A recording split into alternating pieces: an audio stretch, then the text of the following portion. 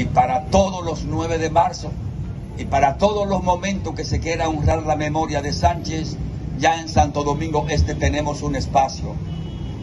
Lo de una ciudad justa no es solamente justa con nosotros mismos, los de ahora, es también justa con nuestras memorias históricas, es también justa con el pensamiento patriótico de los trinitarios.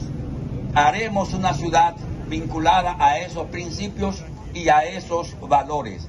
Aquí está, desde ahora y para siempre, la Plaza Francisco del Rosario Sánchez para honrar eternamente su memoria. Que Dios nos bendiga. Quiero darle las gracias a don Manuel. Don Manuel en nombre de los Minas Viejos, en nombre de todo este perímetro, le damos las gracias por esto que nos está dando. Y esperamos que no sea lo último, que este sea el comienzo de unos nuevos minas reformados.